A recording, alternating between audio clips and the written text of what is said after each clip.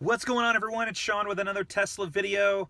I apologize for the slight hiatus. I've gotten, all of a sudden I got really busy with the real estate business and so I haven't had much time to work on anything else.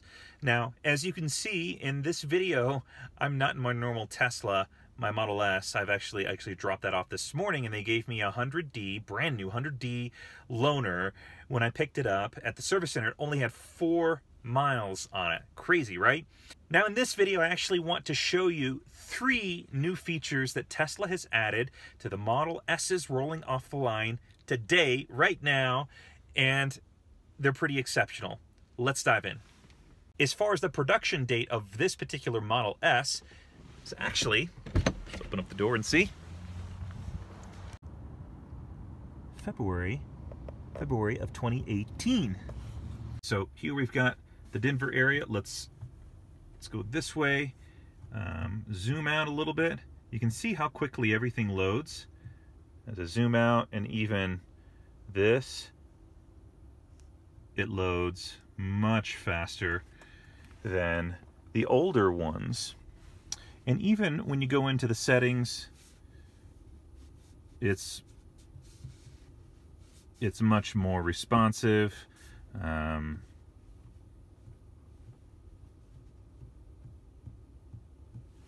so much, much more responsive. And hat tip to fellow Tesla YouTuber and fellow Denver Tesla Club member uh, for pointing me towards an area where I could confirm it actually does have the AMD 64. The old MCUs, I understand, the CPU says undefined. Tesla's made a big update here, and this should pave the way for a lot of other things tied to this screen.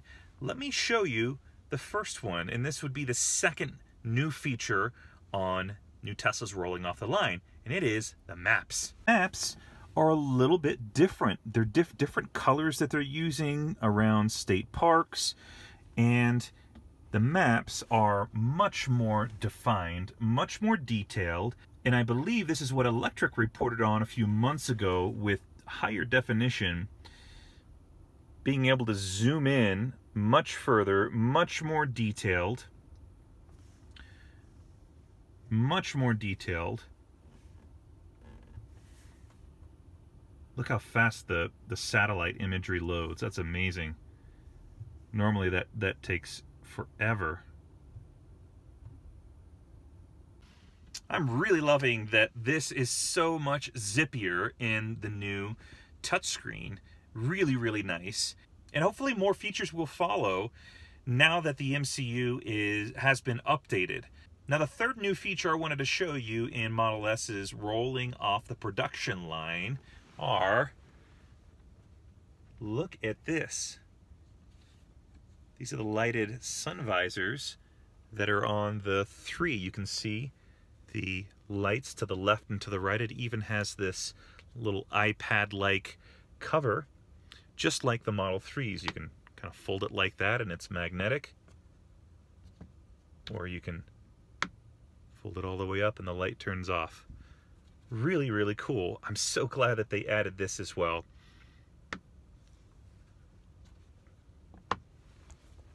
Now, I was wondering if Tesla may have added the uh, coat hooks like the Model 3, but you can see there, there's only a light and no coat hook along there. You know what else would have been nice if Tesla added in, along with the updated sun visor, is the adjustable seatbelt in the Model 3, you can actually raise and lower. It's the same thing in the Model X, but for whatever reason, the Model S does not have that adjustable height for the seatbelt.